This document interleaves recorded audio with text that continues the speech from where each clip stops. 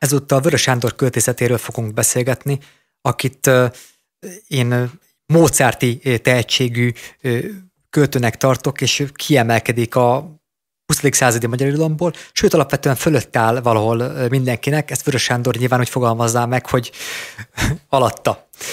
Hiszen egy elképesztően szerény ember volt, elképesztően alázatos művész, olyan tehetséggel bírt, mint hogyha egy másik bolygóról érkezett volna, és alapvetően a világában egészen különös volt.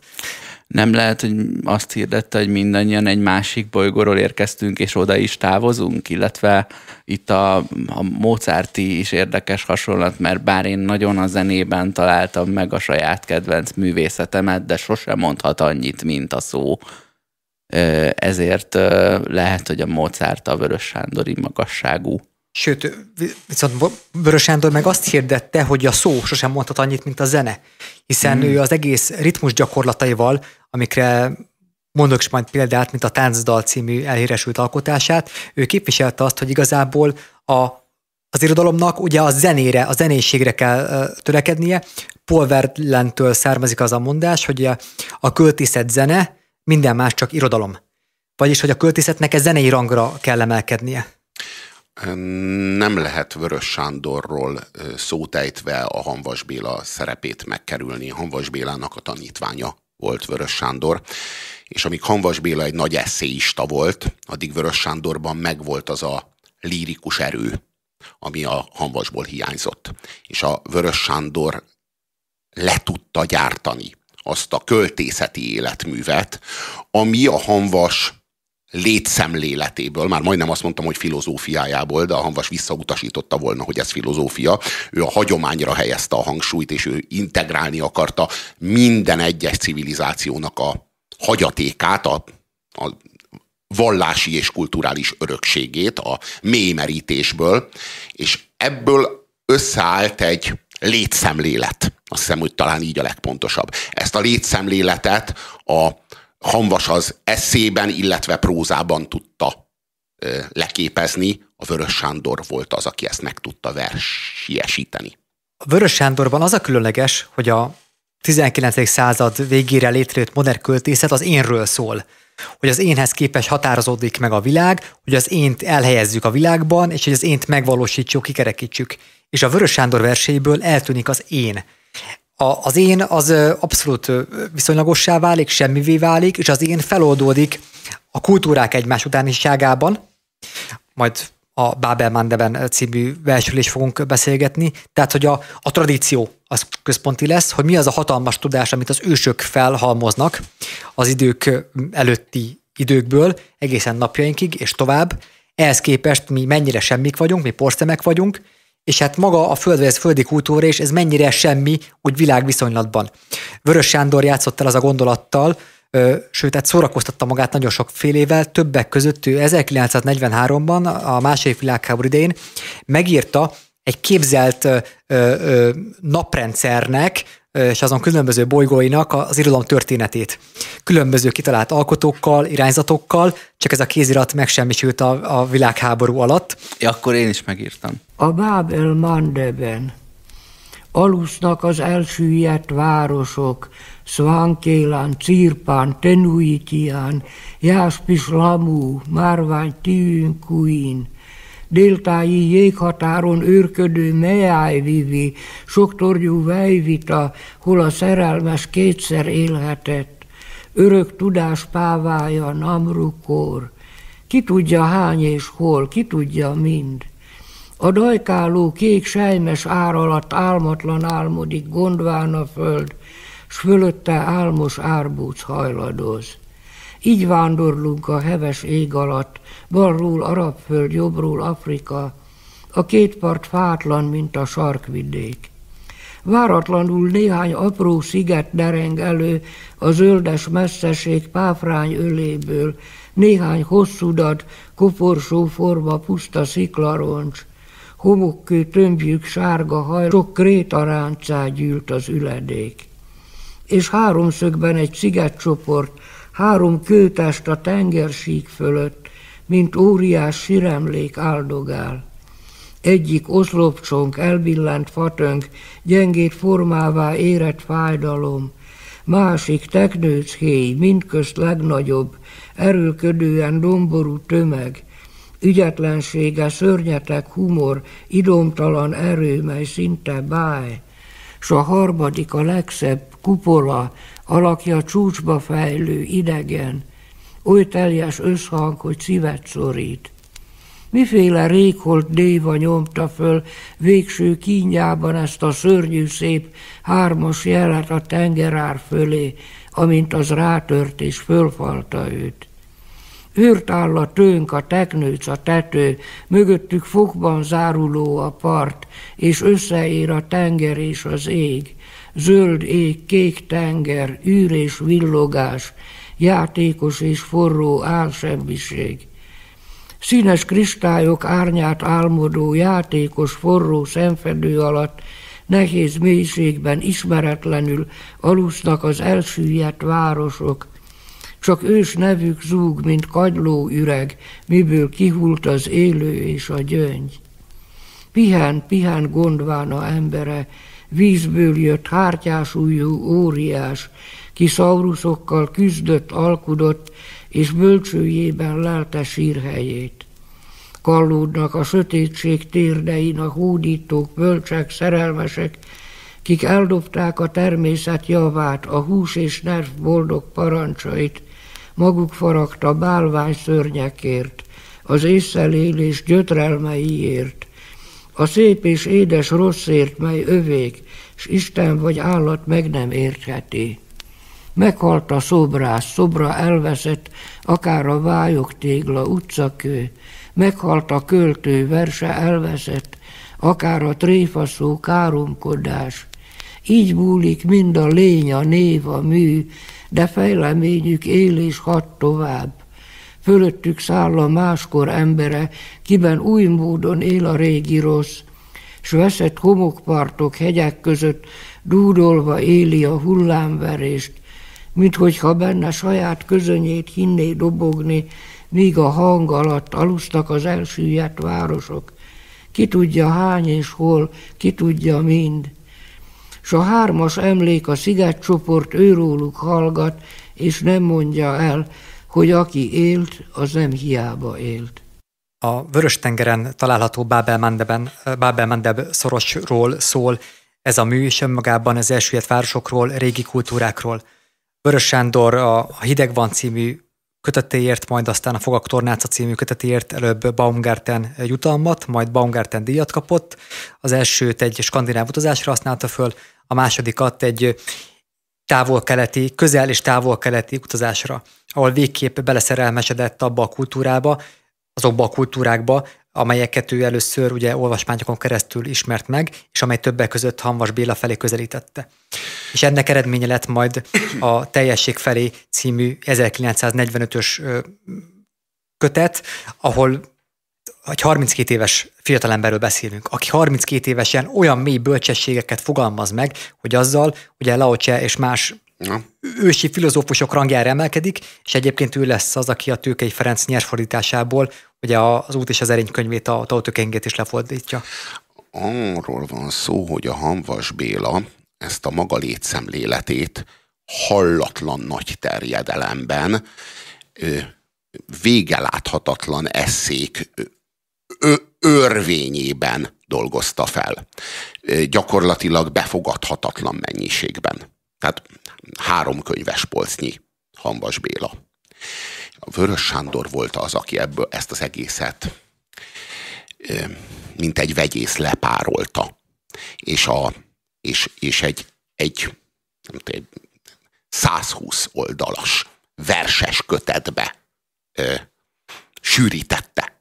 És abban az eszencia van benne. A, tulajdonképpen a hanvasi létszemlélet eszenciája a teljesség felé. Hanvas Bélának mesterének ajánlja is Vörös Sándor. Úgy fogalmaz, hogy ő teremtett bennem harmóniát.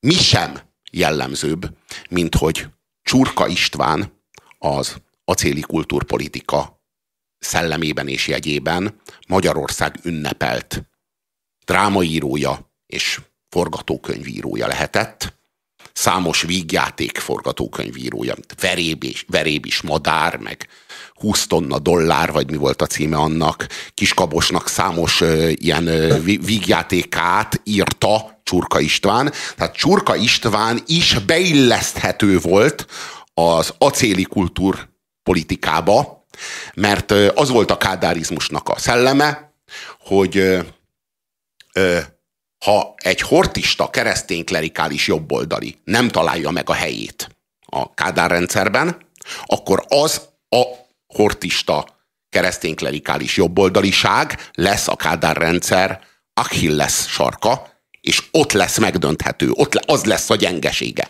Tehát Csurka Istvánt is a rendszer nyertesévé kell tenni. Kvázi bűnrészessé kell tenni a rendszerben, illetve a rendszer működésében. Na most ebben a rendszerben, ahol Csurka István ünnepel drámaíró és forgatókönyvíró volt, Hanvas Béla raktáros lehetett. Most ez mindent elmond. Hogy amikor Acél György ránézett Csurkára, akkor azt mondta, hogy hát ez egy, ez egy, ez egy reakciós hortista, írjon drámát.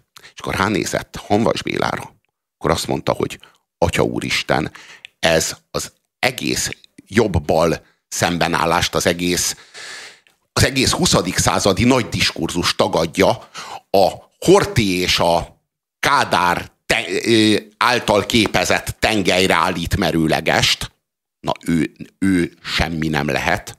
Amit ír, az a fiókba kerüljön, a, a fiókjába, és onnan az enyészetbe.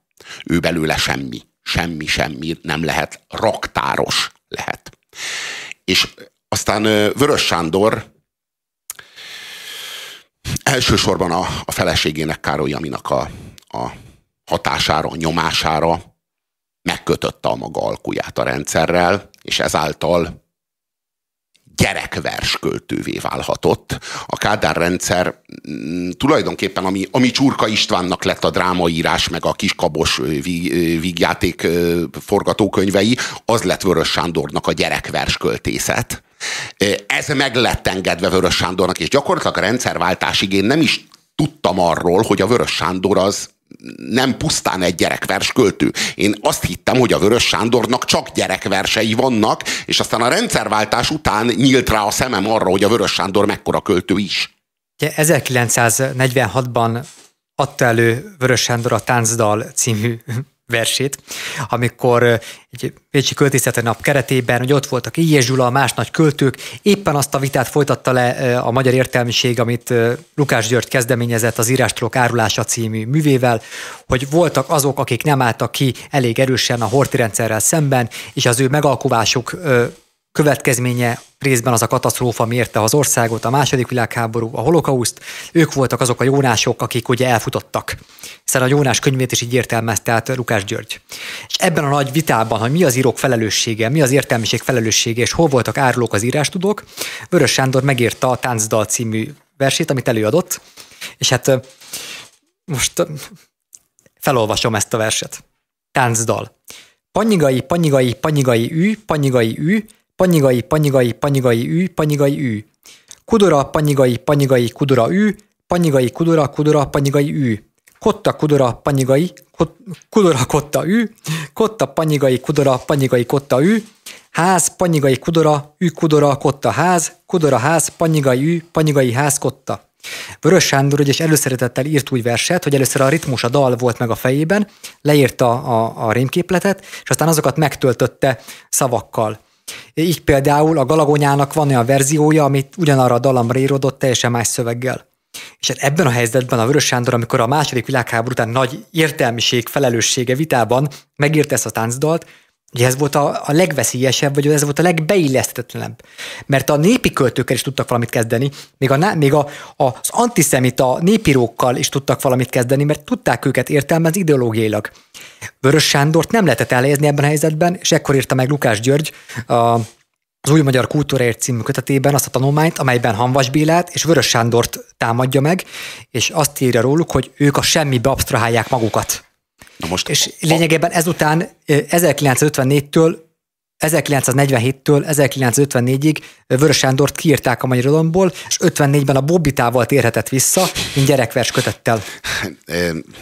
Nem a semmibe, hanem egy olyan térbe, ahova a Lukács Györgynek nincsen bejárása. Így aztán Lukás György és Acél György úgy intézték, hogy Magyarország legnagyobb szelleme raktáros legyen Magyarországon.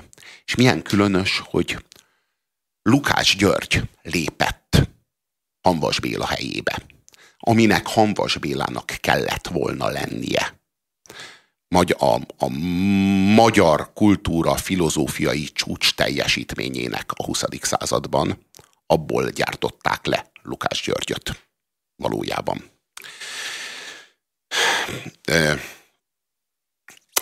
Mm, mm, az Ének a teremtésről című Vörös Sándor vers az, amelyik hát az én számomra az ember különleges, öntudattal felfegyverzett szerepét és helyét a világban úgymond kommunikálja és kifejezi. Ének a teremtésről. Amikor Isten a világot szülte, a mindenség az újjára fagyott. Hogy a föld, hogy a víz fölmelegülne, föléjük gyújtotta fönn a napot. Recsegtek a jegek, amint a tűzgyerek fölfele tört, s élett a föld. A lánggömb kék útján végig gurult, aztán a tükröző mélységbe hult, habokra ráhajolt, szikrázva fuldokolt, pirosan elhasadt, mint a kisugarat többé se hint, de reggel visszatér az égre megint és ahogy a nap a hevét kifújta, a színekbe bomlott világra újra árnyék hajolt, s fölkelt a hold. Újasan elomló éjszakai fény, szelít helytartó a király helyén. Míg hajnal előtt szunnyad a színek csokra, fehér legyezőt terít a habokra, az örök szerelmet példázza ő, dagad és apad, de mindig visszajő. S hogy fény legyen itt len, ha a hold kiapadt, kigyújtotta Isten a csillagokat nem változók, aprók, kemények, örök szeretetről beszélnek, s ha burkot vonnak az égre a rémek, eltűnnek, aztán megint visszatérnek. A világ világolt élettelen, hiányzott mindenből az értelem. Hogy legyen, aki épít romból, ember készült hóból és koromból.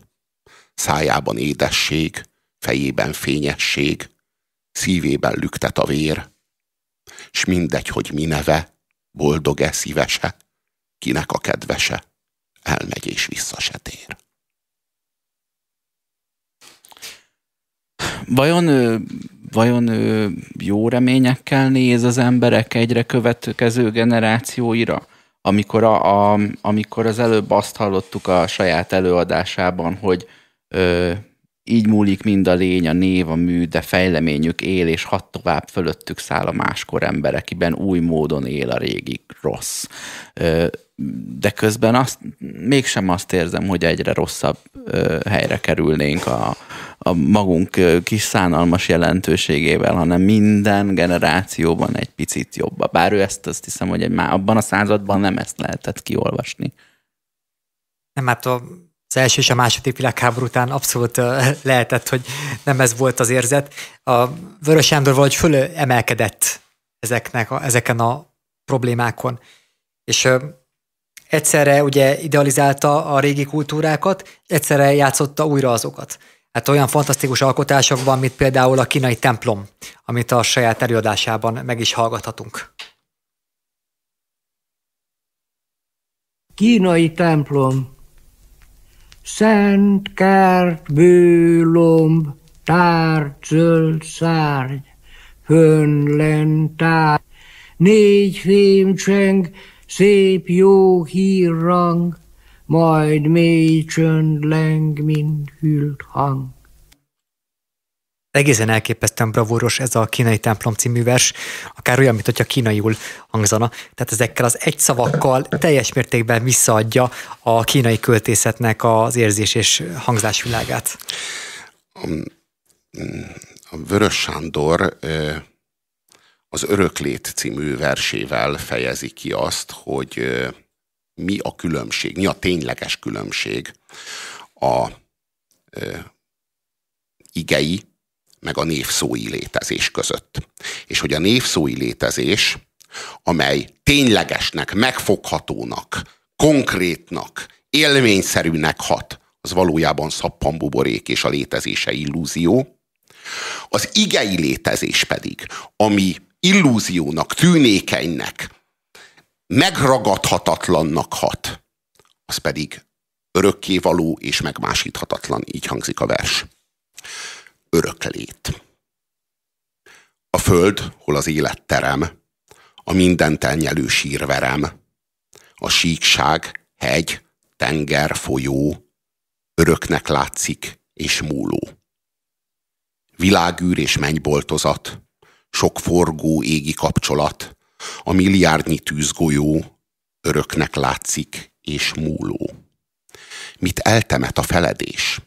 Egy gyíkúszás, egy szárnyverés, egy rezdület, mely elpörög, múlónak látszik és örök. Mert ami egyszer végbe ment, azon nem másít semmi rend. Se Isten, se az ördögök. Múlónak látszik és örök bele lehetne kötni, hogy tehát emlékszünk azokra az égi testekre is, amelyekről azt mondjuk, hogy eltűnnek, de a fogalmak nem tűnnek de aki, el. De aki Azzal, hogy megneveztél el, valamit, aki és eltű... körberajzoltad, de aki, az attól de, lesz örök, de aki mert eltű, sose de, létezett. De aki emlékszik rá, az is elmúlik. Tudod? Tehát minden, ami ebben a világban névszói, az mulandó, és a puszta létezése is illúzió, tehát a puszta létezése is egy kvázi fikció. Minden, ami pedig fikciónak látszik, minden, ami igei, mert itt nem a szárny az, ami örök, hanem a szárny verés az örök. Nem a gyík az, ami örök, hanem a gyík kúszása az örök. Minden, ami igei, minden, ami történés, cselekvés, az a pillanatba ágyazódva, pillanatba vésődve egy uh-huh. másik dimenzióban, talán abban a dimenzióban, ahova ebbe, ebből a világból halunk, örökkévaló. amit Robi most az ének a teremtésről ben feszeget, hogy tulajdonképpen a jelenség és a nem létező, ami örök, hiszen az nem szűnhet meg, mert létre se jött. Ez köszön vissza abban, amelynek a címe az, hogyha kérdezik ki vagy, ezt mond, ez így hangzik. Egynemű vagyok a széllel, folyó sodrával, esőcsepp hullásával, madár röptével, fapadlón járó facipős ember lábazajával. Levegőe a szél, víze a folyás és a csöppenés, a röpülés madáre, és fából van-e a fapadlón járó facipős ember kopogása. Megszűnik a szél, a levegő nem szűnik meg, de szél nélkül halott. Elhult a madár, a teste új mezbe öltözött, száz új alakba szétivódott, de röpte nem maradt meg, és el se veszett. Többet nem is tudok magamról, és mire tudnék, már több leszek annál, hogy sem tudhatnék bármit is. Még nem vagyok egész, és mire az lehetnék, már több leszek annál, hogy sem magamban lehessek egész. Még nem is élek, nem is fogok élni. Életnél teljesebb leszek a holtom után. Ezt mond, ha kérdezik ki vagy. Vörös Sándor csodálatos verse a boldogságról. A kis jercét nem irigylem én, amikor kapar az udvar szemetén. Irigylem a kotlóst, lázban egyedül az áthevülő tojásokon ül, s a változás titka körül kerengi. A boldogság útszéli szemét, szedhet eleget ki lenyújtja kezét. Az érlelő kint kell megérdemelni. A gondolat itt-ott mindenütt élő szövetet bont és sebet üt. Ha sokallod, mennyi rajtad a seb, fuss, mint a három lábú ebb. Fuss vissza, még nem késő visszamenni. A boldogság útszéli szemét, szedhet eleget, ki lenyújtja kezét, az érlelő kint kell megérdemelni. Én pedig még szeretném felolvasni az Örök Pillanat című versét, mert a kedvenc képem szerepel belőle a magyar költészet történetéből. Örök pillanat. Itt máló kőre nem bízol, mint ez meg levegőből. Van néha olyan pillanat, mely kilóg az időből, mit kő nem móv, megőrzi ő, bezárva kincses öklét, Jövője nincs és múltja sincs, ő maga az öröklét. Mint fürdőző combját a hal súrolta, s bent, így néha megérezheted önnön magadban Istent. Félemlék a jelenben is, és később, mint az álom. és az örök létet ízleled még innen a halálon. Na most, amikor olvastam ezt a verset, annyira visszajött az a gyerekkori érzéskép, hogy sétálok be a Balatonba, és azt érzem, hogy mintha egy hal elúszott volna mellettem, és így megsúrolta volna a combomat, a lábamat. És ez a költői nagyság, ez a hiperérzékenység, ez a hiperszenzitivitás, hogy megfogta azt az élményt, amire magamtól sose tudtam volna rájönni, mi ez a nagyság, mi ez a csoda, amikor tényleg az ember valahogy érzi, hogy a hal elúszik mellette, és ebben a Vörös Sándor pedig meglátja a Isten jelenlétét. De hogy mennyire ö, fontos, hogy ez milyen apró ö, mozzanata az életednek, hogy hányszor ért, éreztél ilyet a teljes léted alatt, hogy egy hal hozzáér a lábadhoz, és ilyen rövid időre ö, gazdagodsz a belátás képességével. Tudod, ez a szatori élmény, ez a, ez a pillanatnyi megvilágosodás, amit aztán utána elvesztesz, elúszik, te egyszer már láttad, tudod, hogy egyszer értetted, de nem tudod elmondani elmondani? Vörös Sándor fejezte ki a legjobban talán, hiszen ő birtokolta ezt a tudást, hogy mit jelent emberként és költőként nagynak lenni, és mit jelent ezt meghaladni, és, és az egész nagyság értelmezését, mint paradigmát meghaladni. Tehát többé nem nagynak lenni, hanem a nagyságot megvetve azon kívül állni. Mm, valahogy tagadni a kicsinség és nagyság által képezett paradigmát, vagy értelmezési mezőt tagadni. Ehhez a kirekezted magad a dicsérés lehetőségéből is, nem a dicséretből, hanem abból, hogy te más dicsérj. Meg, meghala, meghaladni a nagyságot, nem beteljesíteni, hanem meghaladni a nagyságot. Így fogalmaz Vörös Sándor a célról. Mit bánom én, hogy érdemes vagy céltalan a dolgom? Patak vagyok. Kérjem-e, hogy habomat hova hordom? Harcolok, nem tudom kiért, és nem tudom ki ellen. Nem kell ismernem célomat, mert célom ismer engem. És ha már a hatalom szóba került, a Nem szádékom című versében írja azt Vörös Sándor, hogy kicsiny vagyok, mint a porszem, szolgád vagyok, de meggörnyedsz előttem. Királyom vagy, de meg kell görnyeded előttem, mert ostobán bántál hatalmaddal, igen ostobán. Kicsiny vagyok, mint a porszem, és az atya megnevez engem, és az anya karján visz engem. Mert szomjat fakasztok benned a jóra, mert éhet támasztok benned a jóra, mert hiába hívtak téged a jóra. Ez a jóság, és ugyanakkor hatalom a kritikája.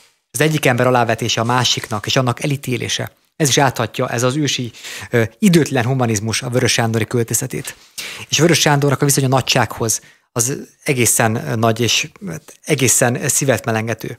Amikor ugye megkérdezték tőle, hogy íre verseket, vagy miket ír mostanság, akkor Vörös Sándor csak annyit mondott, hogy át, hogy ezek nem versek, ezek nem költemények, ezek egy hibbant elme, hibbant alkotásai. És ha ezt a Vörös Sándori hozzáállást a saját költészetéhez összevetjük azokkal, akik ha megkérdezik tőle, ha megkérdezik éppen Rákai Filipet, hogy melyik forgatásról érkezett, és hát azt mondja, hogy minden idők legnagyobb magyar filmjének forgatásról érkezett, és Kovács Ákos is mindig azt mondja, hogy tökéletes albumot készített, meg tökéletes filmet forgatott, mindig csak a nagyságban és a tökéletességben fogalmazzák meg magukat ezek a NER udvaroncok. Hát ehhez képest a Vörös Sándor Hát ő olyan nagy, ő olyan nagy alkotó, hogy neki van miből adnia. Hát igen, van, van, van mire szerénynek lenni, ahogy mondani szokás. Akinek nincs mire szerénynek lenni, az nem is tud. Nem hiszem, hogy bárki erősebb képekkel fejezte volna ki a 20. század cselekményét, mint Vörös Sándor a 20. századi freskó című versében. Felhők a kukvár Három ezer éve telik díszekkel és lomokkal, nagy ládákkal. Felírásuk én, enyém, nekem, engem. S falát mindenfelé kinyomta. Az én kincsem, az én lázam, az én üdvöm. Végre felbillent, s az alatta felgyűlt ganajba zuhant. Lakói a lenti mocsokban hemzsegnek, nem értik, mi történt velük, nem látnak az éjszakában, jajgatva vergődnek a szeméten, vagy futkosva egymásra tiporva cipelik törött, recsegő holmiukat, vagy építeni akarnak a törmeléket dulva. De van, aki lát közöttük, és szurokba hempereg, és meggyújtja magát, hogy azok is lássanak kétségbe esett világosság eleven fákja. Páran rámutatnak. Ni, a bolond, szurokba mártotta magát, és elhamvad a helyet, hogy menteni segítene. Mások kiáltják. Az ő fényénél látunk, és még gyorsabban húzzák, vonják a törött lomokat. Mit látnának? Mit mutatna nekik az eleven fákja? A törmeléket, a trágyát, és fölötte a fekete semmit, honnan hiányzik? Felhőkakukvár, és eltűntek az angyalok, a biztonság, a szabadság, az igazság angyala, meg a többi, még a háború angyala is, mert amit ezek háborúnak néznek, egymásba botlók szüntelen marakodása a sötétben. Hol már az idő, mikor hadat indított a szabad elhatározás, és még a gyűlölet angyala is, mert mindenki annak bokájába marakébe bír, de hol az igazi gyűlölet már? Az égen egy maradt. A tétlen, közönyös lélek, az undor angyala. Mert már csak az utálat, melynek lelke van. Ha látnának az eleven fákja fénynél, őt látnák. Az undor angyalát, amint lábával harangoz a kutyáknak, vagy fütyülve a romokra vizel és nem hinnék, hogy angyal, hogy az alakot váltott szeretet, mely inkább mosolyog, mint haragszik, s ha közelről látnák, nem hinnék, hogy az undor angyala, mely oly szép, mint az a nő, kit álmunk legmélye hord, a gyilkos megrészegül tőle, vágytól zokogva öklére borul fogatkozik, s a tiszta is megdöbben előtte. Mi a szépség, hogy ísodra van? S az üvöltve lobogó fákja, se végső édesség. Ugyanegy. Ha kérdik, őt felel. Ne fontoskodj! Ajkád bigyeztve szól. Ne fontoskodj! Harmadszor is azt mondja. Ne fontoskodj! És elhallgat. Az eleven fákja körbe szalad és ordít. Hallottátok-e? Ne fontoskodjatok! E két szó a nektek röpített ige. E két szó a nagy könyv. E két szó, mely a világ rángását feloldaná. Ne fontoskodjatok. Ne akarjatok zászlót lengetni. Építő, romboló, mentő mozdulatokkal hadonászni. Hagyjátok a jelszókat, fontoskodó elveket, rángató eszméket.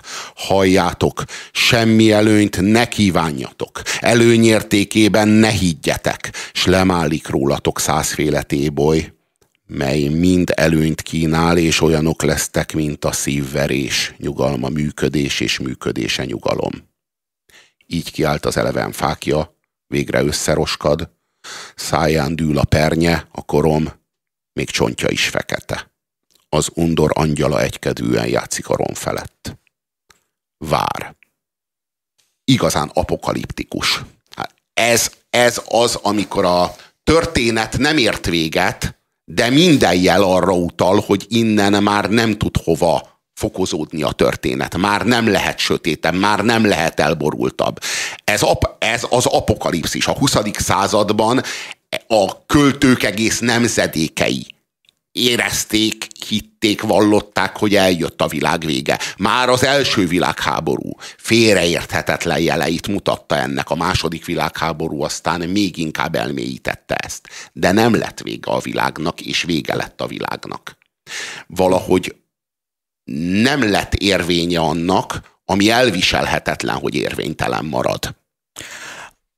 Amikor azt mondja, ne fontoskodjatok, én ilyenkor azt vártam, hogy mi agyonverik, mielőtt elégett volna. Tudod, abban az önérzetben, hogy azzal, hogy magadra gyújtottad a szurkot, akkor a kreditet nem vettél, hogy adhass nekünk egy jó tanácsot. És tudjuk, hogy fél percen belül meghalsz, de mi 15 másodpercre akarjuk csökkenteni a maradék életedet. Én mindig opponálom, Robi, ezt a világ mondást, de tulajdonképpen azt el tudom fogadni, hogy a világnak több vége van, mert annak a fogalmi világnak, annak a kulturális közegnek, meg annak a viselkedésnek, amit megélünk, annak határai vannak, és ezeken a határokon időnként túlmegyünk, és olyankor már nem a mi világunkban járunk, azaz a világ, ha ilyen értelmezésben véget ért, akkor amiben most élünk, az nem világ. Hát azt hiszem, hogy az Adorno, akkor, akkor az Adorno ezt akarta kifejezni azzal, hogy Auschwitz után nem lehet verset írni. Nyilván nem arról van szó, hogy ne lehetne verset írni, hanem arról van szó, hogy hogy kiürült, hogy kiür, kiürült az égbolt, hogy vigasztalan és érvénytelen, és, és a világ ö, kárhozata az ö, nem nem visszhangzik a mennyboltozatig. Hogy, hogy, hogy annak, ami történik, annak nem lenne szabad következmény nélkül maradnia, és következmény nélkül marad. Arról van szó, hogy azután, ami a 20. században történt, a csillagoknak le kéne szakadniuk az égről, és nem szakadnak le, hanem a világ közönösen forog tovább a maga tengelyén meg hogy a, a líra szükségszerűen ugye esztétizálja a valóságot, valami esztétikai viszonyulást alkot a valósághoz, viszont a második világháború és a holokauszt az egy olyan szörnyűség, amihez egyszerűen nem lehet esztétikailag viszonyulni, csak erkölcsileg, és ezért a bármilyen szinten esztétizáló, ritmizáló, metaforizáló írai nyelv nem tudja leképezni, vagy nem tudja visszadni azt a valóságot, bármilyen vers csak relativizálja azt a szörnyűséget, ami történt, ezt Adorno így fogalmazta meg, de azért tegyük hozzá, amikor Vörös Sándor azt írja, hogy csak az utálatnak van lelke, az azért egy milyen lírai megfogalmazás, és milyen igaz, mennyire realista. Tehát ez az, amikor a líra válik maga a realitássá. Uh-huh. Um, és és, és az, az, amikor a, a Vörös Sándor hőse azt mondja, hogy ne fontoskodjatok. Ez valójában a, annak a tagadása, hogy a világ itt ezen a, ebben az életben, itt a Földön megváltható, hogy a, a nemzeti szocializmus eszménye, vagy az államszocializmus eszménye, az a vörös zászló, vagy a fehér alapon fekete horog kereszt, egy, egy idea az a világot megválthatja itt és most, és mind ezek a megváltástanok, mindezek a nyomorúságba, a pusztulásba, a szenvedésbe, az emberi, az ember emberi mi voltának felszámolásába vezetik bele az emberiséget. Csak el kéne engedni, csak el kéne felejteni azt, hogy az ember az Krisztussá válhat és megválthatja az emberiséget, mert az ember nem Krisztus, és ebből a megváltás műveletéből a kárhozat pokla lesz. És így lesz valójában egy etikai kiállás a Vörös Sándornak a különböző játékossága, a költészeti gyakorlatai. Tehát például, amikor megírja ugye a barbár dalt, képzelt eredetit és képzelt fordítást, amit szintén meghallgathatunk. Vörös Nem képzelt az eredeti, azt hiszem, hogy Kozsó alkotása, vagy hasonló. Barbár dal, képzelt eredeti és képzelt fordítás. Jagul verarki cere, aini mustasemu, aini mankitu antasemu, adenim baruva bato yaman. Ole giuro unannihe, ole cilambo ababihe, ole buglo iningihe, alinleldajihe yaman. Va putsu komo i kede va imla gulmo buglavi ele va leli gulmo ni dede va odda jarumo he iamat. És a képzelt fordítás Szélvölgye, farkas fészke, miért nem őriztél engem, miért nem segítettél engem, most nem nyomnak kő, ajaj. Könnyemmel mosdattalak, hajammal törölgettelek, véremmel itattalak, mindig szerettelek, ajaj! Földet, tüskét teremjen, tehened véres tejet adjon, asszonyod fiat ne adjon, édesapád eltemessen, ajaj! Tényleg, tényleg nem sikerült méltósággal meghalni a barbároknak? Tényleg megátkozták a, a maradék világot maguk után, ha már ők nem lehetnek benne? Maga Mert ez a nem, fogalom. Nem érek ezzel. Maga ez a fogalom, hogy méltósággal meghalni, ez egy civilizált fogalom. Tehát a barbárok, attól barbárok, hogy nincs ilyen Oké, okay, ak- akkor azt hiszem, hogy a barbárok köre az, az hát az önkényesen van azért kijelölve. Tehát, hogy vannak olyan, szerintem olyan északi népek, akik formailag nagyon barbárok, de a halál az egyáltalán, már... egyáltalán hogy mondom, nem méltóságtalan, ahogy azt magukra vállalják. Ma már a skandinávok a legcivilizáltabbak. úgy, úgy vélem. Vanból lesz a legjobb feleség, így értjük? Nem, nem. Vörös Sándor mm, lesújtó, nagyon pessimista véleménye az emberiségről. Majomország. Hely, de messze majomország, ott terem majom kenyér, majom ablak, majom rácsán, majom nótát ráz a szél.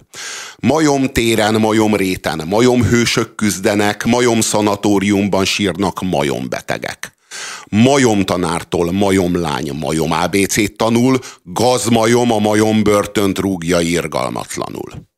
Megépül a majom malom, lesz sok majom majonéz, Győzve győz a győzhetetlen, győzedelmes majomész.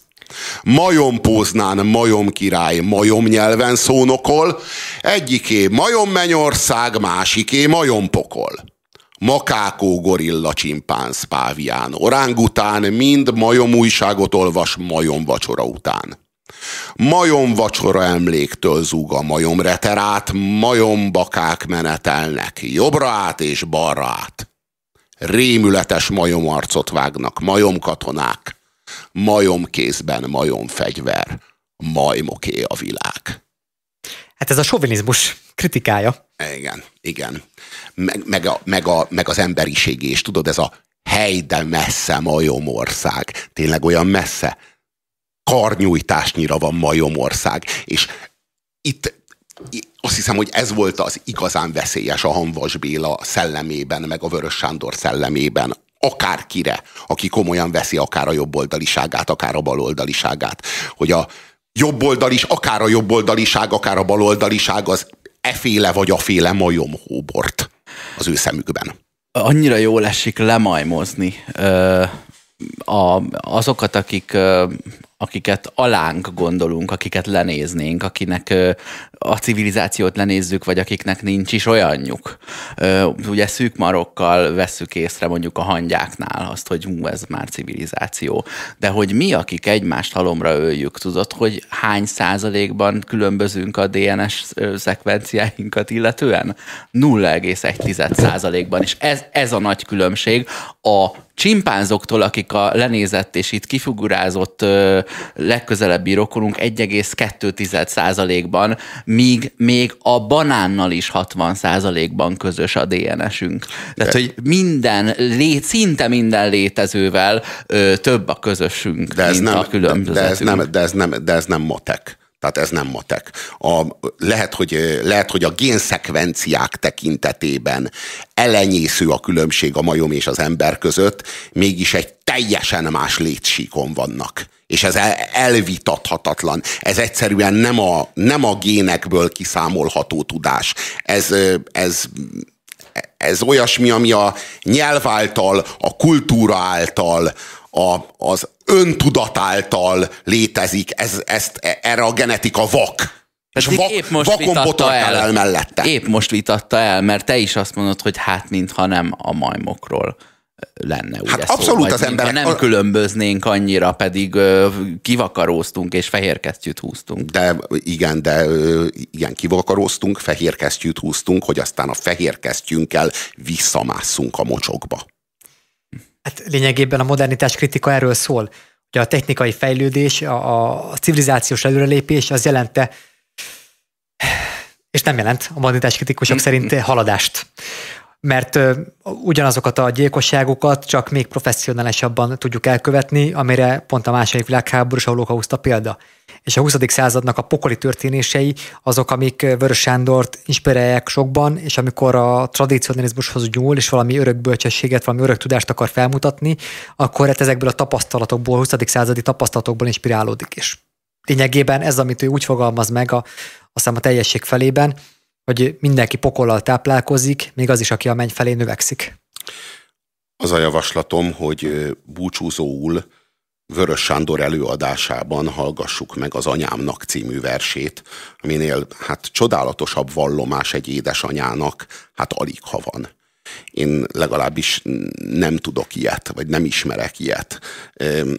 A, olyan mértékben meghaladja azt, a, azt az anyák napi gics műfai kategóriáját, amiben általában beillesztik, vagy amibe beilleszthető, amennyire Vörös Sándor azokat a kereteket, amelyek a, a, úgy általában a magyar lírát képezik. Anyámnak Termő ékes ág, te jó anya, életemnek első asszonya, nagy meleg virágágy, párna hely, hajnal harmatával telt kehely. Benned kaptam első fészkemet, szívem a szíveddel lüktetett, én s nem én közt nem volt mesgyehegy, benned a világgal voltam egy. Álmom öbleidbe újra visszatér, álmom öbleidbe újra visszatér. Alabástrom bálvány, jó anya, életem hatalmas asszonya, szemed ízis, smaragd dísze, tiszta szép, hajat pallas bronzsisakja, színe ép. Csak arcodon lett keményebb minden árny, mint a délutáni égen vércseszárny. Első szép játékom, jó anya, gyermekségem gazdag asszonya. A kamaszkor tőled elkuszált, szemem a szemedbe nem talált. Így tűnődtem, miért szült, miért szeret, ha örökre élni nem lehet. Én miattam annyi mindent öltemet, miért nem tett a hóba inkább engemet?